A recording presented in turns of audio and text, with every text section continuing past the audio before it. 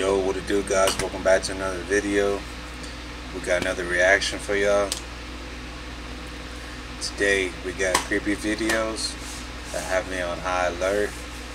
Let's check them out. These are the most viral videos of, uh, what is it? August. August 7, 2024. Let's get into it. Speaking of patents, though, in hurricanes, there is a patent using sound waves to manipulate hurricanes and tornadoes. This guy named Waxmansky, he came up with using sound waves For entertainment purposes only. to quickly evaporate the ocean water to where it could stop a hurricane. It got abandoned eventually because he, his son too. But then this year, another guy came out with a patent almost identical to his and it got approved. Where it gets weird though, it was federally sponsored for the research of this. Yeah, The guy wasn't federally sponsored. No, but we just mysteriously this guy comes up with his patent. It's it's it is Still weird, yeah. But it says people that helped sponsor the project: 21st Century Fox, the Walt Disney Company, and the Vatican. Why? And this is Why? on the Why? patent website. This is on the U.S. patent website. Those are the three big hitters right there. And it's like that's so weird. He claimed that the U.S. government is using his patent already. Someone got a screen grab of the radar of Hurricane Beryl heading towards Texas. The swirling weird pattern was captured on one of the radars. I've never seen Uh, that. I mean, you look at that, and then you look at mm-hmm. that. That's real. That's real. Hey, on my last video, I doubt it's being used to stop hurricanes. If anything, it's to increase the damage. So here's a video of a PLA Marine using a bird-like drone that's actually flapping its wings and flying through the air. Now, apparently China's been using drones that were character had characteristics of actual birds for quite some time to be used in urban environments because it would be like natural cover and concealment, uh, just like hiding in plain sight because it doesn't look like a drone from far away and you wouldn't know it was a drone until you were like holding it right in front of you. But they could still conduct reconnaissance with it and do whatever they wanted with it. Apparently back in 2018 they had a government program codenamed Pigeon, which they started creating drones that look like birds. Now they didn't disclose whether or not they were going to be intended for operations in urban environments, but I would I would assume that they're trying to use them in any environment where they could, you know, gain an advantage. Now in 2022, engineers from uh, the Middle Kingdom created a mechanical flying bird weighing 1600 grams with a mechanical wingspan of 2 meters and it was powered by a lithium battery and was able to stay in the air for an hour and a half. Pretty crazy stuff. Not only is this the Hey, I've been seeing creepy birds, especially around the Houston area. I'm talking about like pigeons that look weird as hell. Like, you literally walk up to them and they only run away when you get within inches of them. Kind of weird. Tonight, imagine getting rid of all of the bad and only remembering the good. Zapping your brain sounds like something out of science fiction movie. but it could potentially help people. CBS 2 shows you how scientists are one step closer to actually erasing. Wow, if this doesn't prove that memory wiping has been established way back when, this will, guys. I don't know if y'all watched The Incredibles, man.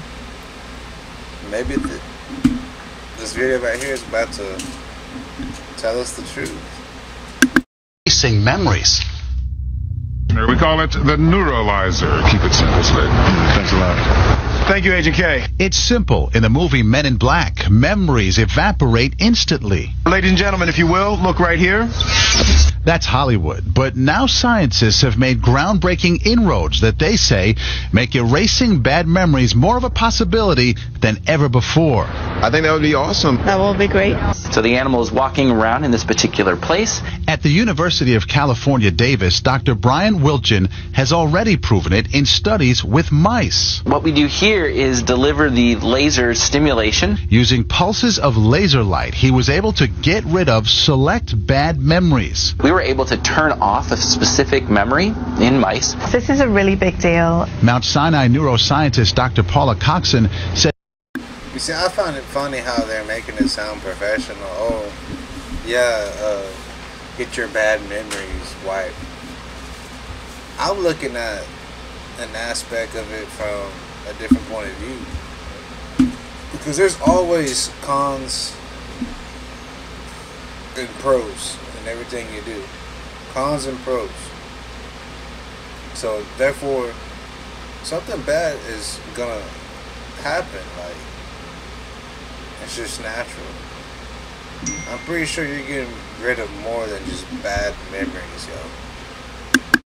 Says it could potentially have many other applications, from easing traumatic memories of child abuse to healing the effects of post-traumatic stress disorder. It might be actually possible to take out some of the aspects of the memory that are the most unpleasant by having the person be able to recall the memory but not experience the emotion and the fear associated with it. And she says the research could ultimately lead to innovative treatments for cognitive disorders like Alzheimer's. We might be able to reactivate those memories and maybe find a new way for those patients to access What did I just the say, locked-in guys? memories um, and get some of their memory function back.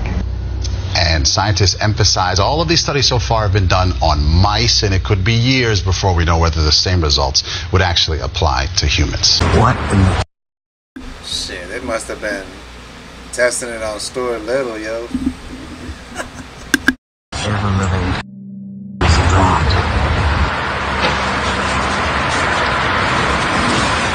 I'm not even tripping. Oh.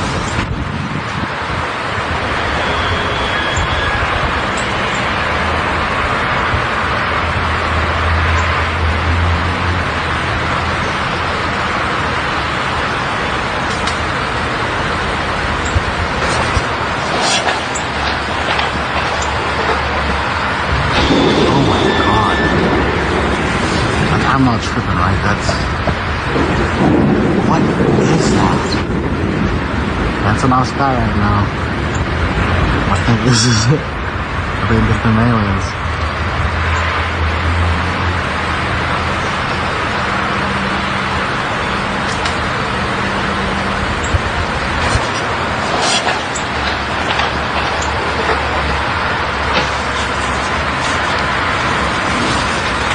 Ford just filed a patent that would report speeding vehicles to the police. Basically, every new Ford is going to have a device that'll track all the vehicles that are around it, and any vehicle that is speeding, well, it will automatically get reported to the police. Not only that, this same device is also going to allow them to be able to track your vehicle and report it to the police if you're caught speeding too. They've only filed for this patent so far, it hasn't actually been approved, but make sure you're following and I'll let you know if it You know there's a Yo, if this patent goes approved, man, Ford will be the all-time number one snitch of 2024.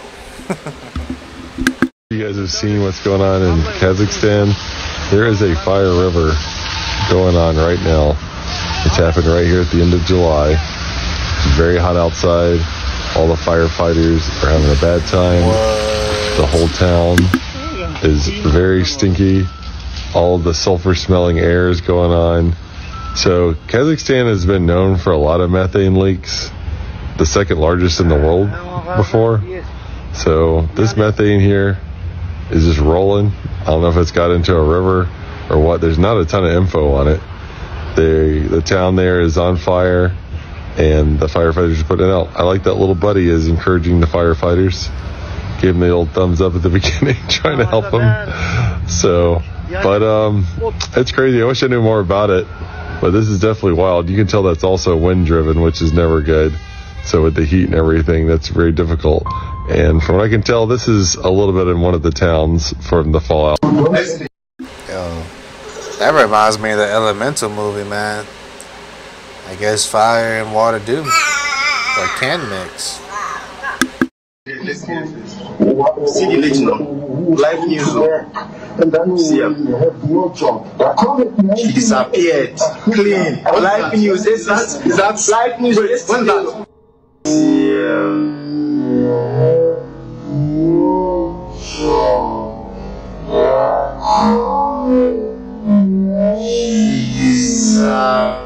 According to TechSpot, artificial intelligence can now see what's on your computer screen by reading nearby HDMI electromagnetic radiation. And researchers are saying this technique is already being used in the wild. To simplify, it's not AI is scanning your HDMI cable when it's plugged into something.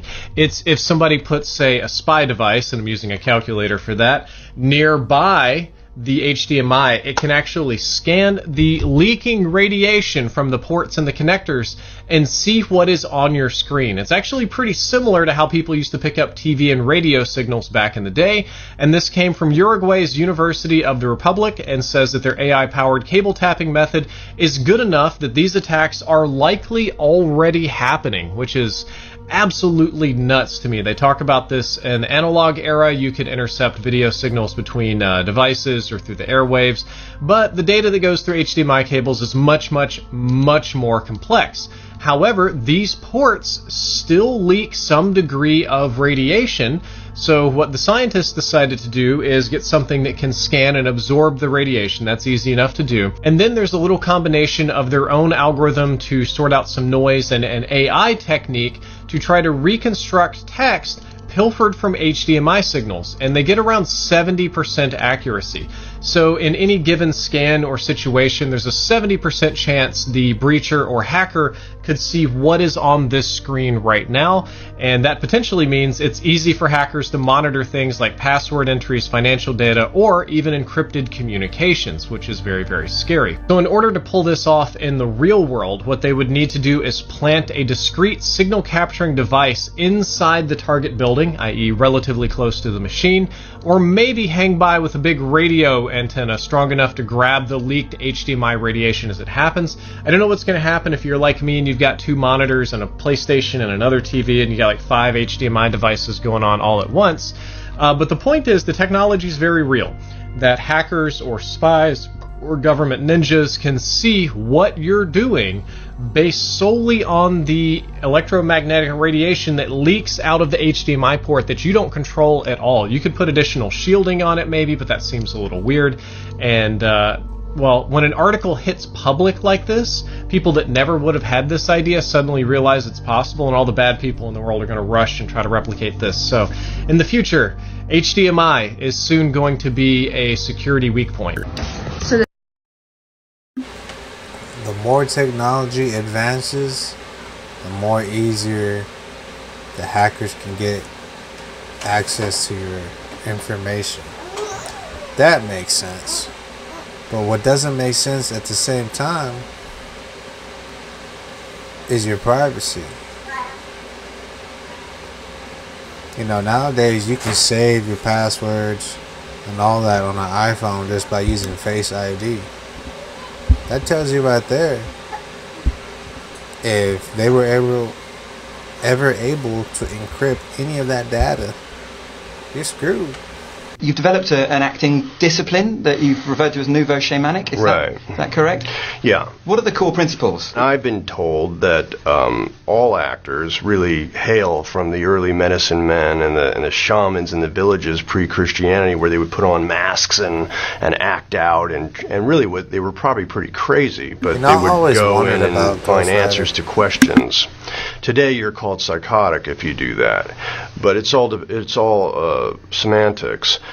So what I would do is I'd put on Afro-Caribbean paint, like a white and black paint, and black out my eyes so I look like this sort of Afro-Caribbean voodoo icon. And then I would sew in bits of um, Egyptian artifacts that were thousands of years old into my costume and gather some onyx or tourmaline or something that was meant to have vibrations. And who knows if it works or doesn't, but for me it was an idea of like trying to stimulate my my mind or trick my mind into believing I was this this character from another dimension.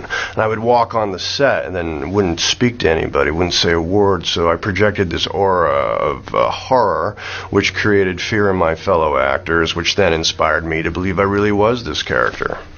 Exciting. I'd love to be on set with you. Yeah, thanks. He was feeding off of everybody's Wow. fear. But you think of also he's taking real shamanic artifacts, Mhm. putting them. I mean, you don't see that in the movie. You don't know Yeah. that something's sewn Yeah. into the inside of his of his thing. 2021. Yeah, you see, Hollywood doesn't tell you what's going on behind the scenes, yo. Why does he need to wear all those artifacts dated way back when? Egyptian period. Like, you're asking for somebody to get possessed. As an actor, I would have softly, well, I say softly, I would hardly decline that, yo. This is your soul you're talking about. But then again, he probably already sold his soul. You're saying the government has created weather tampering techniques so that the quote new world order will be able to starve millions of Americans worldwide, millions of Americans, and to control the rest.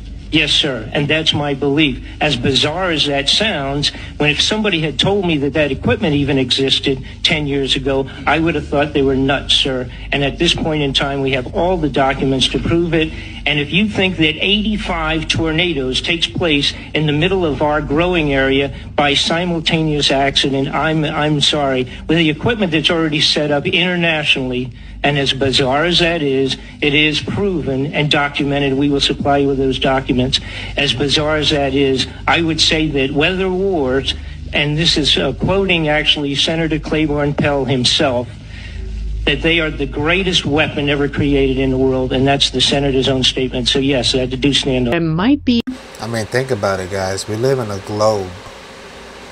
I've seen experiments done in a globe glass jar before. You know, whether it's chemistry or uh, even rocket science sometimes. If you put an animal in a box and do those so-called cloud seeding experiments that they're doing on this globe, you can actually control the mind of that animal. You know, have it have its own pattern. And what I mean by that is pattern to sleep, pattern to eat, pattern to wake up and go to work. And then from there, you, you're just on a non-stop life cycle. It makes sense, yo. It makes sense. A biological difference in people who see the paranormal. Listen to immunologist Garry Nolan. He spent a lot of time looking at the MRIs of brains of UFO experiences and concluded that these people all had more pronounced bundles of nerves at the head of their caudate and putamen. Yeah, that they're basically smarter. And they realize what's sitting in front of them and they don't ignore it.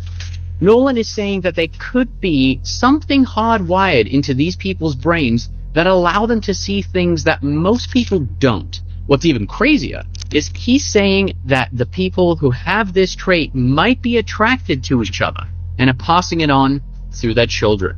Are we seeing the start of a new species of man? One that can more easily see things which others ignore or brush aside? Or has this speciation already been going on for thousands of years and we're only just now at the tipping point? What time would your party?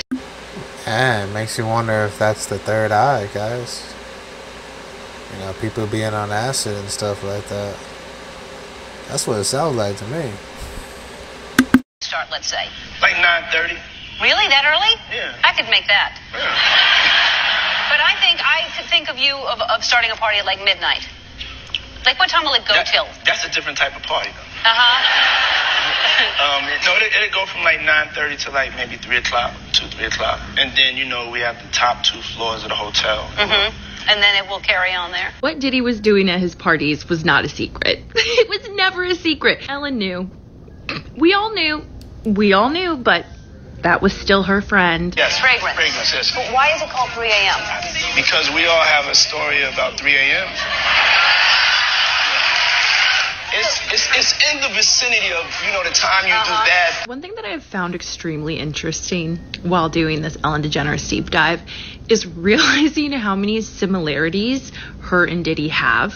Like, as far as their circle of people they're connected with, the people who have been very close to both of them for years and passed away Ellen's ex girlfriend, Twitch, Diddy's long list of tons of people who have passed away. It's just wild to me how many rabbit holes in the entertainment industry and Hollywood lead back to Diddy. Anyway, okay, I'm gonna go get back to Yeah, that's not creepy. And if that don't give out any information about Diddy, I don't know what will. oh, he was so comfortable, man. But I guess when you're seated that high in this world, You know, like the Bible says, you're invincible only here. But in my kingdom of heaven, he's the only one invincible. I'm telling you, if you drink Arizona teas, you need to watch this. Because too many people are finding this goop in their Arizona tea cans. And nobody knows what this is. But check this video out.